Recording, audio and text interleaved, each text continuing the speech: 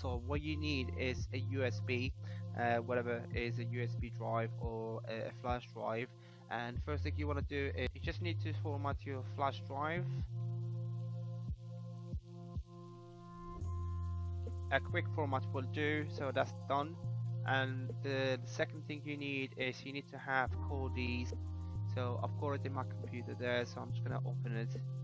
Uh, the only thing you need to do then is just to run it and you just press next agree next and when it comes to the stage it usually tells you uh, that uh, you want to uh, install it to, to your normal directory. For but to do this to make it portable you have to select your USB drive and click OK and you click next.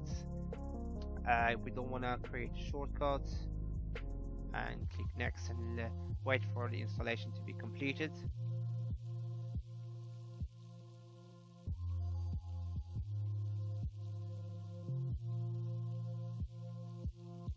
when this is done, uh, we uh, you don't have to click on run Kodi, just uh, click finish, and uh, what you need to do is just go to your your SD card. Mine is here, and you just open it. Uh, that's your Kodi executive uh, executable file. What you should do is maybe you could do it in your desktop. Just go in there and create a shortcut. And a shortcut you want to go to your SD card again. Find your Kodi and look for your executable uh, file. And in here this is where it's important. You need to just want to uh, put a space and then dash P to make it uh, portable. And click next and create so what it's going to do is going to create for you a it's to create for you a portable version of your Kodi file, the executable file. So what you need to do then is just open it once.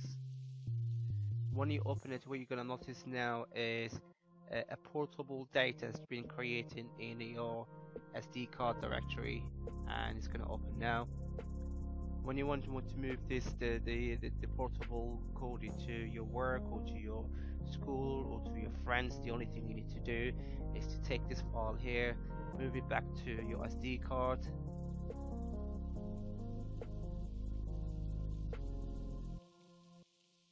It's just gonna open the SD card there. And just uh, it doesn't matter where you where you actually save it but I'm just gonna save it here just for just to make it consistent. So I'm gonna put it in here and paste it in here. So that's that's just done. So let's say you have a, a new computer you just stick the USB to it. What you want to do is copy this move it to your desktop and then just open it from there.